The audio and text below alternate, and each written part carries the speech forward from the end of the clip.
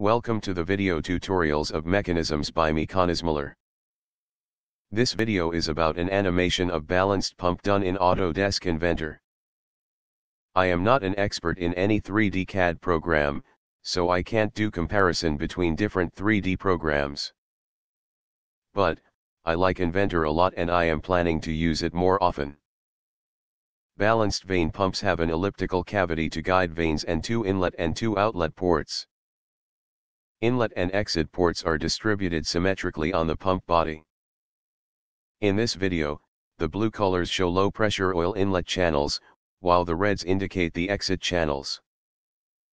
Pressure exerted by pressurized oil creates equal but opposite forces in the rotor.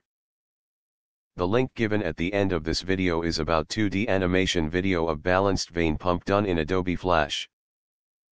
Thank you for taking the time to watch our video. If you enjoyed this video and found it to be useful please subscribe to my channel and hit the like button.